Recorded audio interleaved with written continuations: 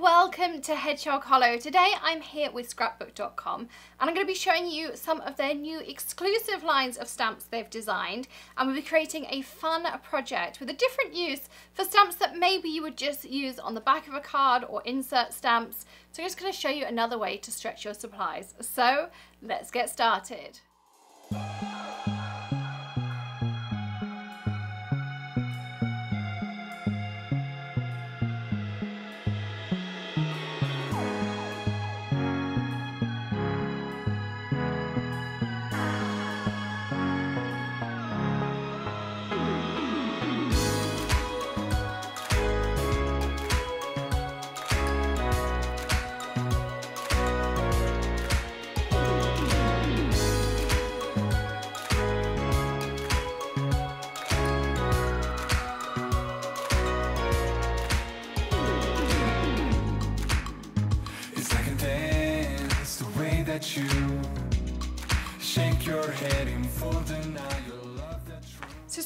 scrapbook.com sent me two of their new stamp sets. This one is all about handmade by Just For You, handcrafted, created.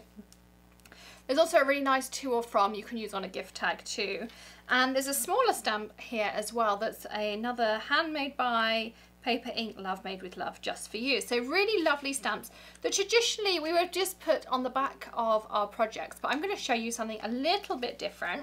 So here I have a piece of watercolour paper, except I'm actually going to use the reverse of the watercolour paper. So this is my trick um, for when I want to use something with water in it, obviously watercolour paper is designed as a heavy weight cardstock to take lots of things you throw at it, but it usually has that texture on the front, whereas if you use the back, it's nice and smooth and doesn't have that texture, but you still get that nice heavy weight.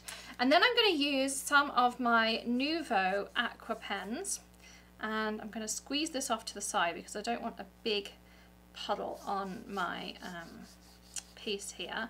So I'm going to kind of do just a watercolour wash background. I'm going to do blue in one corner, pink in the other, and then I'm going to do the purple into the middle. So these are have a real brush in them. They have watercolour already in them too, so you can just go straight in.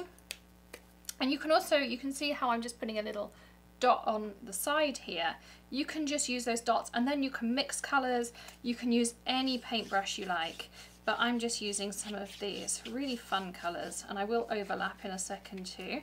But I really want a nice streaky kind of look to it. So I've used, the pink is called Soft Rose. So let me just kind of, and because they're a water-based pigment, they will reactivate when you put the pen back over it again. The purple was called uh, Lilac Blossom and now I'm going to use the blue which is called Clear Water. Now these come in a pack of three so you can see I'm just kind of going into the middle and just putting it out a little bit as well. So if you want to lighten it, so that particularly that middle piece, I would just like to lighten that slightly. I'm going to grab a uh, Nuvo Light Mist bottle and I'm going to particularly spray that middle bit and I'm going to take some kitchen towel and I'm going to lighten it up. Now you may wonder why I want to lighten it is because I'm going to stamp over the top so I want a really nice light colour underneath and because this is a water-based pigment I can spray it and reactivate it as many times as I would like. Every time I add water it's going to reactivate but you can see here how I'm now getting a really lovely watercolour pastel background. Let's just spray this corner a little bit more.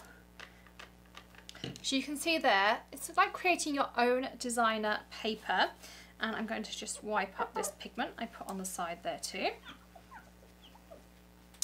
And now we're going to start stamping. So I have one of the scrapbook.com acrylic blocks and I have their own range of ink. This one says Umbrella, which used to be their own brand. They now just say scrapbook.com, but this is their own black dye ink.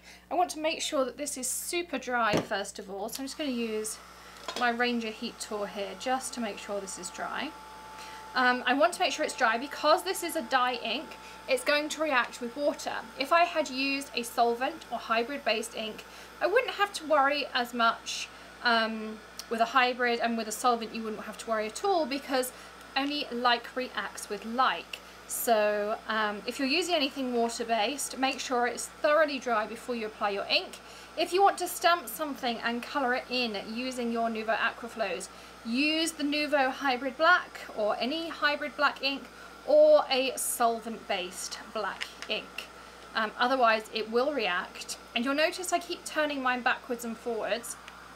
The reason I'm doing that is you want to dry out both sides of the paper. It will speed up the process. It will also make sure you have a flatter piece of cardstock. So every time I turn it around, it gets flatter and uh, stops curling up on one of those sides. If you have a piece that is too curly and it keeps just kind of coming up on the edges, pop it through your die cutter, just regular plates, no dies in there, and you'll find that works perfectly. So I am going to now pick off all of the stamps that I want. So I'm using anything that does not require a filling in. So I've got hello, created by you, love you, just for you, by me for you, etc, etc. So I'm just going to make a big pile of stamps here. I want to make sure that I don't accidentally use um, things like to and from, made by, um, I will keep that little heart to the side to fill in any gaps. Again, I'm going to use the same here. So, not the handmade by, we're going to go just for you, handmade for you, paper, ink, love, made with love. Okay, so when I'm using a large amount of stamps, the other thing that I do is I grab a piece of kitchen towel and as I've used a stamp, I just pop it on the kitchen towel ready to be cleaned later. So I'm going to start out with my stamps. I'm not going to use them in any particular order at this stage. And I'm going to start in a corner like this. And then I'm just going to peel them off, pop them on my um, kitchen towel, pick up the next one, and I'm going to turn them in different directions as well like this. Now, whenever I use a photopolymer stamp, particularly a words or letters, um, I have a tip for you to keep them straight. Pop them down whatever surface you're using. I like to stamp on a glass uh, mat, the Tim Holtz one, um, and then pick it up with your acrylic block. That way you'll have a nice straight sentiment and it will make your life really, really easy. So we're just going to keep covering this up didn't get a chance to say it loud. Your secrets kept you pushing down, disavow. When he was knocking on your door, nobody got in. Now when you're screaming for a hand, nobody's listening.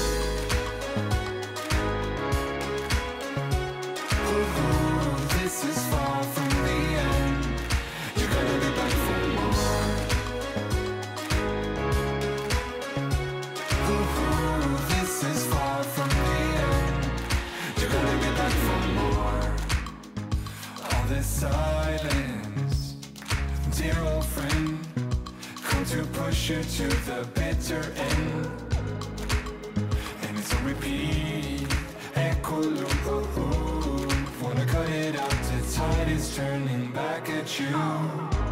When he was knocking on your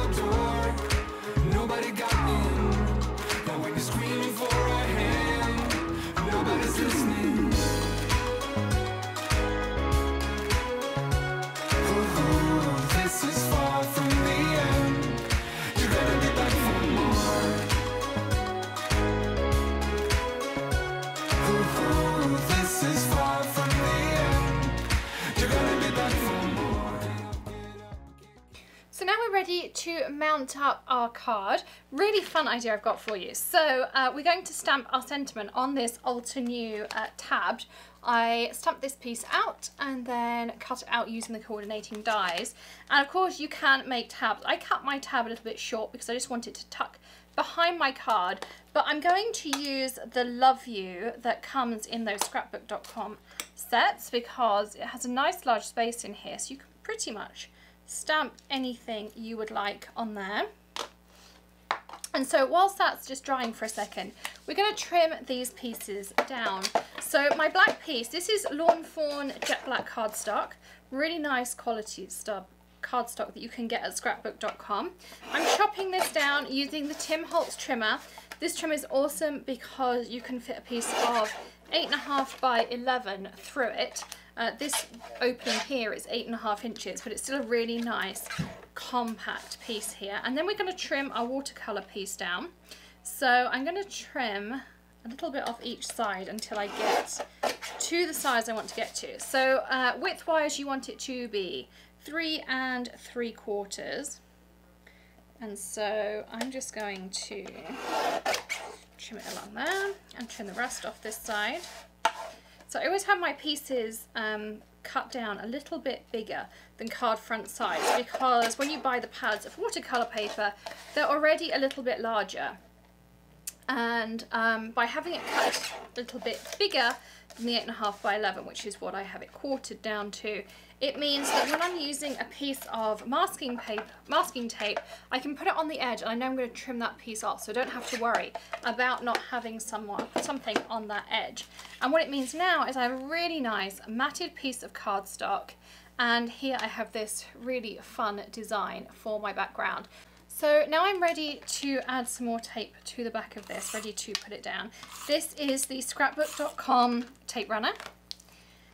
And so I'm going to line this up and stick it down.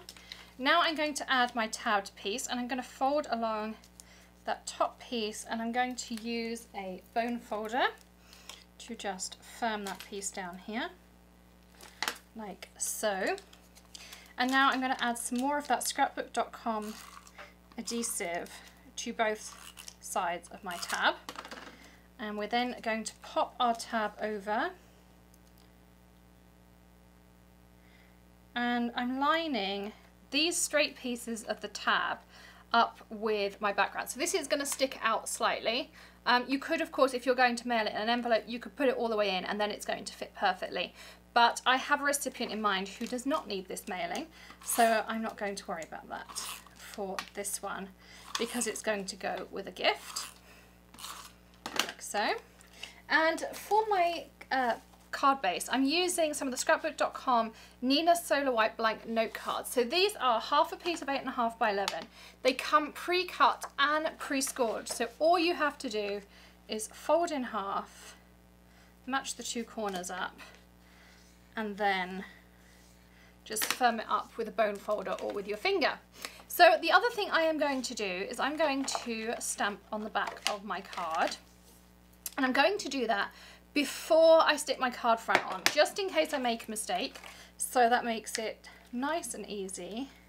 So I'm going to use the handmade by again same dye ink and I'm going to lay my card out flat. I'm actually going to do it this way up because I have a little smudge that I want to cover up there. So I'm going to lay my card flat. Now when you're stamping on a card base or matting a layer on a card base, lay your card flat. You're going to get a much better stamp or mount because your card is going to be completely flat. If it's together, it has that little bounce to it and you'll find it much, much harder to do that. So I'm going to stamp that on there. Handcrafted by and then I'm just writing, this is a fine liner pen. And you can probably hear Greg sneezing as well, just for you. And then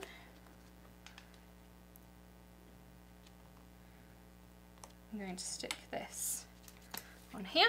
I'm going to be a little bit careful just because of that back piece I've just written on. But here is your finished card. So a really fun way to use the stamps that you normally might just use for sentiment or you may use them on the back of your card but you can use them and turn them into an awesome background and I just love how this little tab sets your card off perfectly. Thank you so much for joining me here today with these goodies from scrapbook.com. Don't forget to check out all the links in the description and hit that uh, like button or thumbs up and don't forget to uh, click the subscribe button so that you come back to Hedgehog Hollow and if you stamp that bell you'll also get notifications anytime we have a new video for you as well. Don't forget to check out those links and leave us a comment with your favourite stamp set from the new scrapbook.com collection and we'll see you again very soon. Happy stamping! Bye!